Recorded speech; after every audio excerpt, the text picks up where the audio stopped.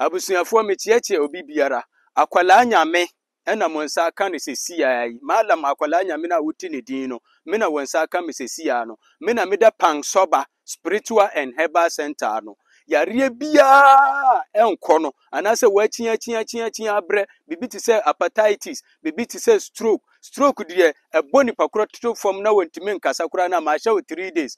Maaso ɛyɛ woba mengye sika tie me yie maaso ɛyɛ woba a mengye sika. Na me ne wo bɛkɔ apam wo ho tɔ wo a aseda bi wɔ hɔ a na wode aba bɛrima deɛ adeɛ bɛkye no ɛsɛ sɛ wayi no sɔre gyina hɔ nom straight ɛmme sɛ obiara te maase na sɛ adeɛ no ansɔre angyina straight deɛ na ɛyɛ problem. Ɛno ara ne sɛ wowɔ us wowɔ uk o baabi a wowɔ biara no wobɛfa me nɔmba ɛno na egu aseɛ no na wode afrɛ me anaasɛ wobɛba maaso yɛyɛ wotu kwan sɛ wokɔ akɔpɛ biribi de aba fie. Wokɔ yɛ kratasɛm adwumasɛm kyerɛ sɛ woda koraa na wosonsum daeɛ basa basa basa. Ɛno ara ne sɛ wobɛfa pansɔba nɔmba no na wafrɛ me. Wofrɛ me nso a wo nsa bɛka me. Meka si so biom woba maa so ɛyɛ a mengye sika. Ɛno ara ne sɛ me ne wobɛkɔ apam. Wo ho tɔ wo a na wode aseda de aba. Awowɔsɛm awowɔsɛm wo wobɛtumi anya sika wɔ wo bɔtɔm na mmom awoɔ nti no wɔn bɛteetee wo saa ma wonhunu baabi a wobɛsi wode deɛ ɛbɛyɛ ne sɛ frɛ me anaasɛ brɛ yɛyɛ na yɛnkyerɛ wo sɛ yɛde ahahan ɛna ɛsa yareɛ wɔ hanom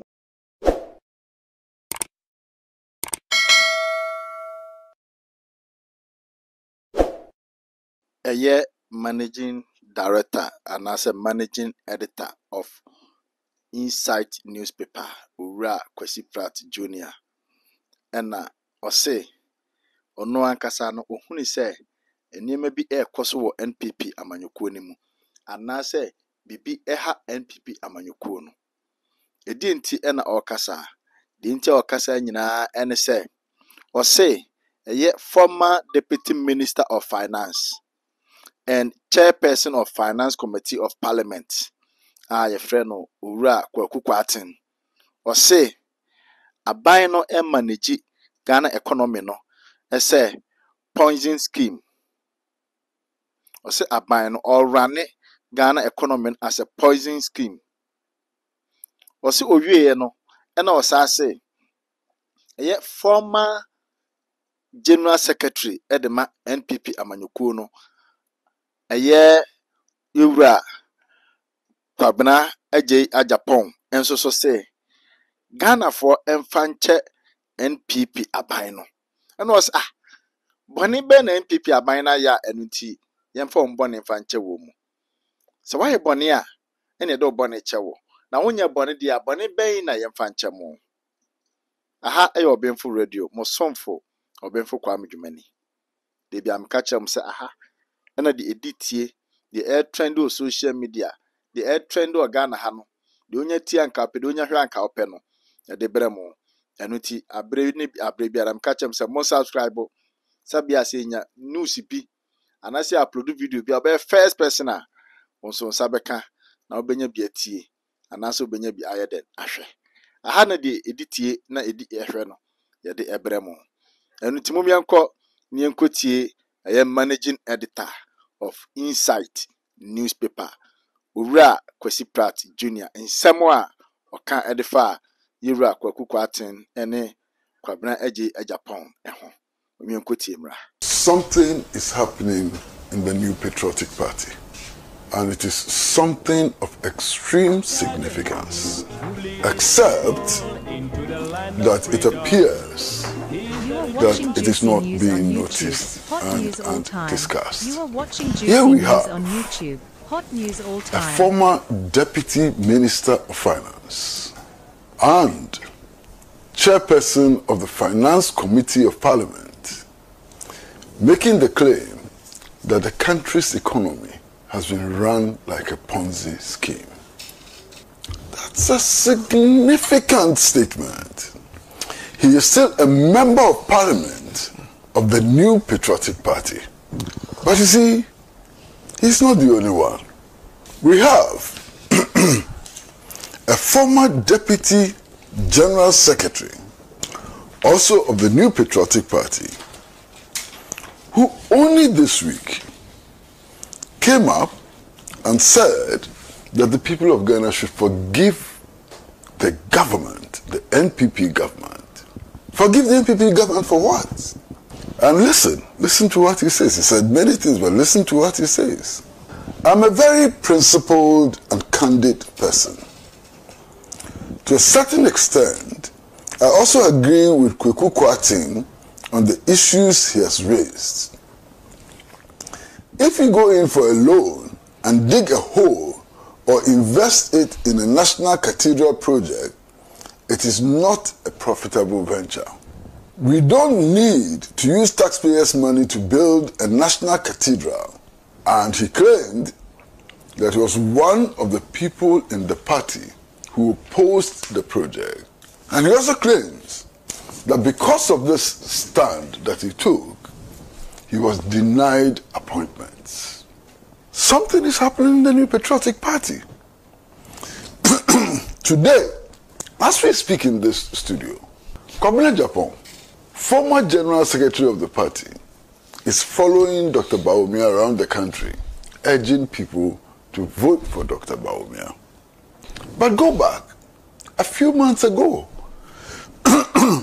when he was involved in the contest for the presidential candidate of the New Patriotic Party, he gave testimony about how democracy, internal party democracy, was completely destroyed.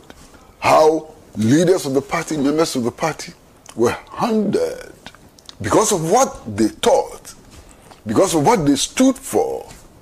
This is Kwabena Agyepong, who strangely today is campaigning for the very people he criticized, has completely forgotten what he said only a few months ago. But he has given us an indication of what is happening in the new patriotic party. You understand? Now, listen to Dr. Nyaho Nyaho-Tamakloe, a founding member of the party. You are watching what he says about the YouTube. party. Hot news all time. Now he You claims that internal democracy in the Hot party has been all time. completely destroyed. That the party has been hijacked by a small group of persons with loyalty not to principle but to an individual. It doesn't end there. Listen, the majority of members of parliament of the New Patriotic Party went public and told us that the economy was being mismanaged by the then finance minister and demanded that he should be removed from office. Something is happening in the New Patriotic Party. Everywhere you turn, listen to them. Look, Akompreko Kennedy Agyapong, he said that members of the party were looting the national coffers as if there's no tomorrow and there's more. Now, if these people, prominent members of the party, are telling us that there's no internal democracy in the party, one, they are telling us hmm, that decisions about national governance and so on today are being made by a cabal. That is their claim. Now, how would you entrust the whole country to this so called cabal, hmm, which is intent on national destruction? And I'm not the one saying it. I am not the one saying it. Why would you do that? So I think it is important for all of us to take note of what is happening within the New Patriotic Party. What people in the New Patriotic Party are telling us.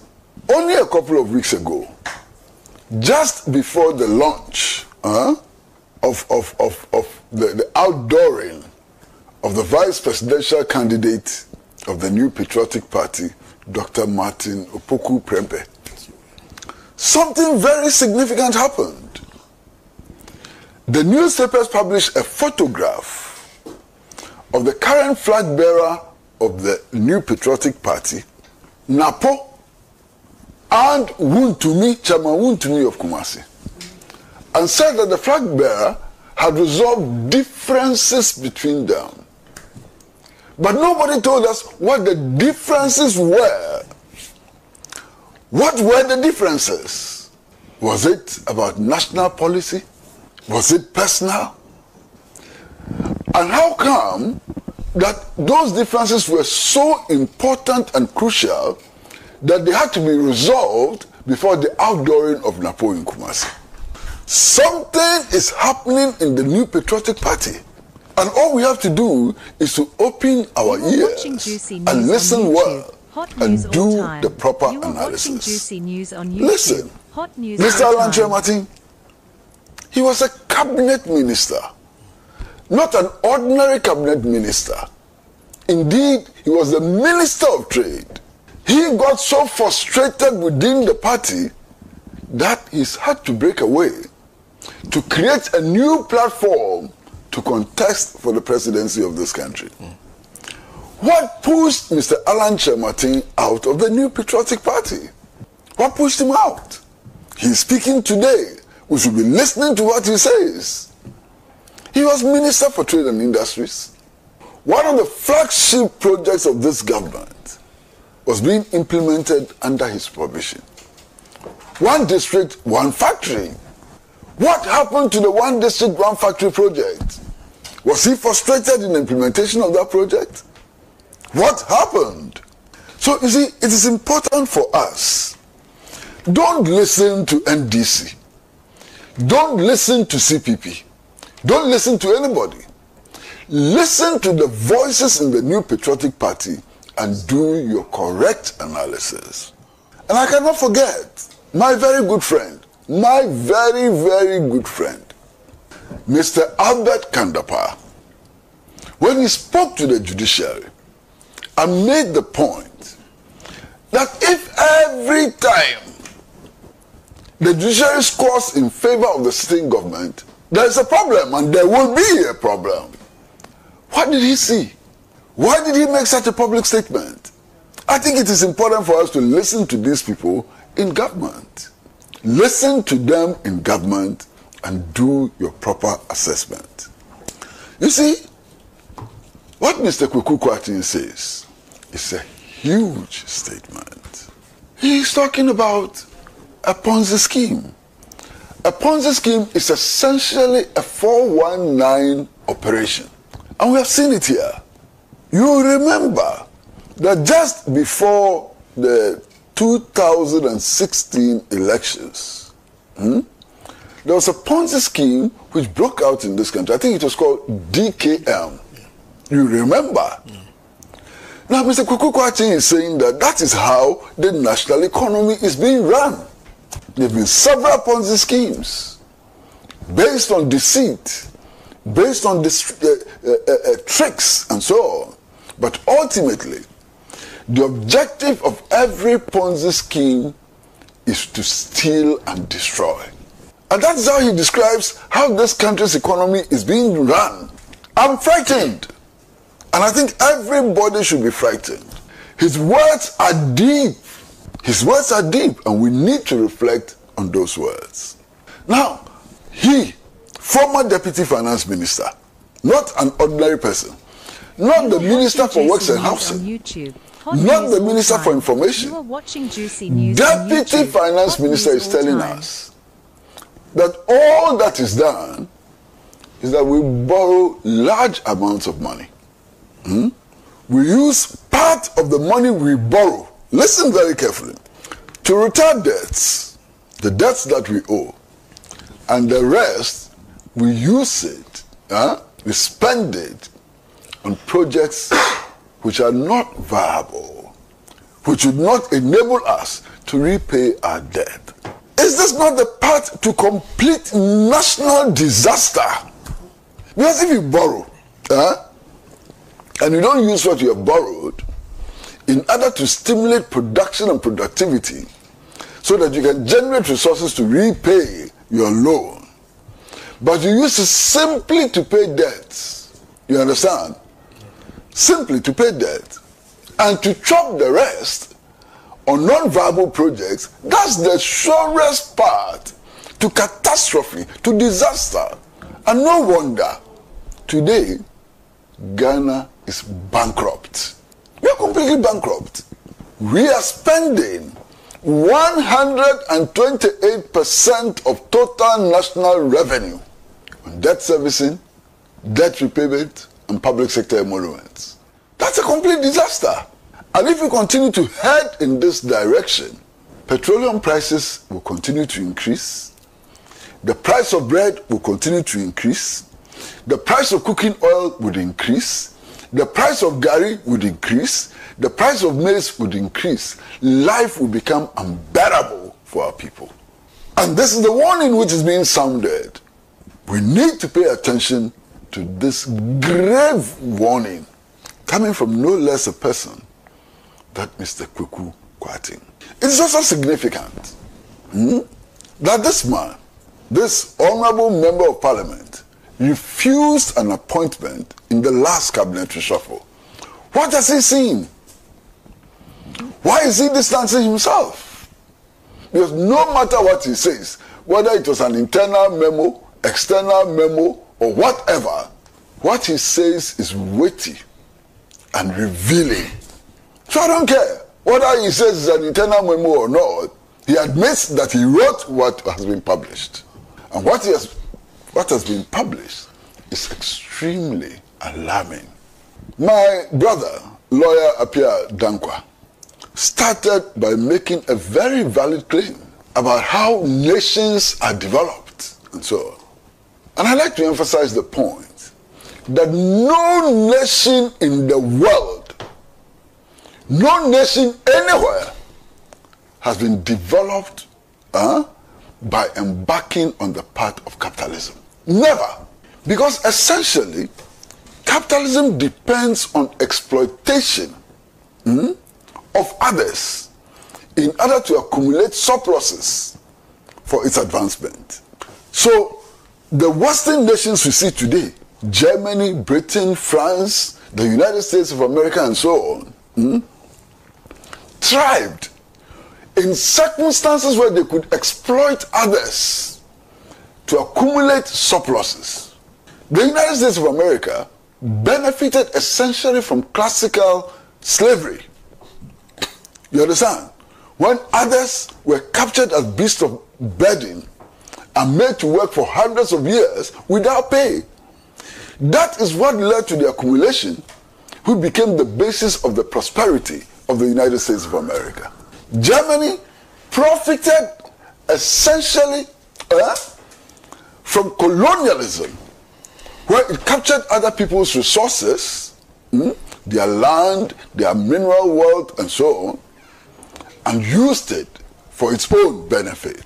France today continues to profit hugely watching Juicy News from colonial and neo-colonial exploitation. You If you look around, YouTube. huh, Hot news all French-speaking. African countries today, all of them, all of them without exception, are compelled to keep their foreign reserves in the central bank of France. So when France needs money to embark upon development projects and so on, it just takes money from French-speaking Africa for its development. It does not pay interest on it, nothing. When the African countries need resources for their development, they borrow their own money from France and pay interest on it. So it is this exploitation which enables France to somehow meet the needs and aspirations of its ruling elite and the middle class.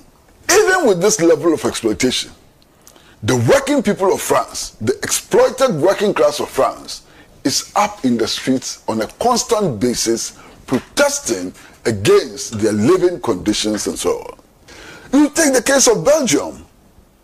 How did Belgium attain its current level of, of comfort and so on? You do know the story of King Leopold, who actually regarded the Congo as his private property. The Congo is one of the most resource nations in the world. What doesn't the Congo have? Water resources, diamond, everything. You understand? And King Leopold regarded these resources as his private property. Indeed, at a time in history, Congolese nationals who were not able to provide enough rubber uh, for the pleasure of Belgium and its king had their limbs amputated if you were required to bring a certain quantity of, of rubber and you failed to do it, they cut one hand. Next time, they cut the other hand. This is how Belgium built its surpluses, which enables it to enjoy a certain level of comfort today.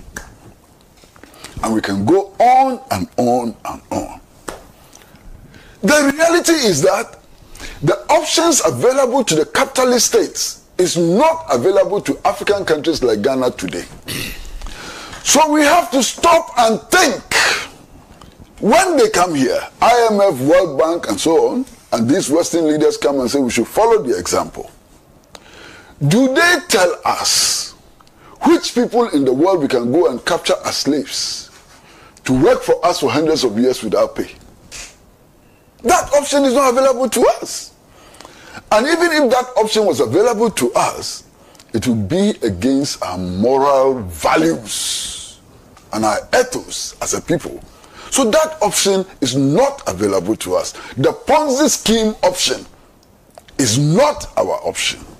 Today, when they say we should follow the West and adopt capitalism, they should be telling us which people we can also go and, and, and, and, and, and colonize, steal their resources, steal their gold, steal their diamonds, steal their lithium, and so on, in order to facilitate our development.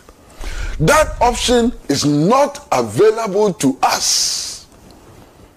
And because these options are not available to us, our leaders continue to deceive us, to give us hope where there's no hope, to continue with this Ponzi scheme that Kweku Kwatin describes. And the Ponzi scheme would eventually crash. There is no Ponzi scheme which will last forever. It will crash. Borrow use part of the money to settle old debts, uh, use part of the money you have borrowed to engage in non-viable projects and so on, it will lead to a crash.